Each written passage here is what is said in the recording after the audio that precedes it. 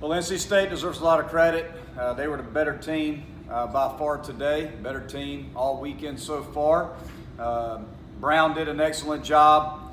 Uh, we tried to uh, put something together there in the second inning, only could score one run with the bases loaded. And uh, then he settled down, threw the ball very well, and Johnson in relief was very good for him. So you know, they threw strikes, they made all the plays they needed to make and uh, had six leadoff guys reach base. Every one of them scored, so couldn't keep the leadoff guy on base. And when you got a team with athleticism, um, it's it's going to be very tough for you if you get the leadoff guy on that many times. So uh, didn't pitch as well as we would have liked to. I didn't think we pitched all that poorly, uh, but we certainly didn't help ourselves uh, offensively. I mean, I think we left uh, 10 guys on base today. They left eight. Uh, so, you know, we've had opportunities, had opportunities today to score, uh, but we could not come up with a hit.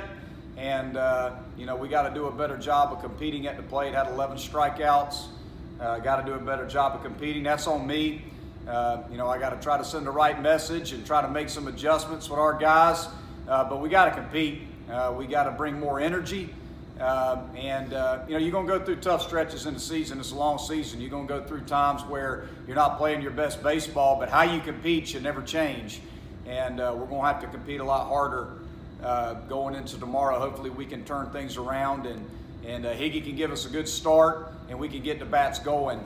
Um, but uh, you know, right now, over the last two games, NC State's been a much better team. I think you know we're hitting the ball hard. I think we had nine hits today think we hit them, but I think it's just getting guys in scoring position and then getting hits when those guys are in scoring position. Just to, you know, we'll get guys on base, get a lot of guys on base, but we just need to start driving balls in. But we need to stick with our approach, just keep doing what we've been doing all year.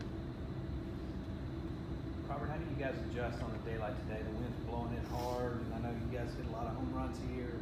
How hard is it to, to change the approach at the plate with the wind conditions?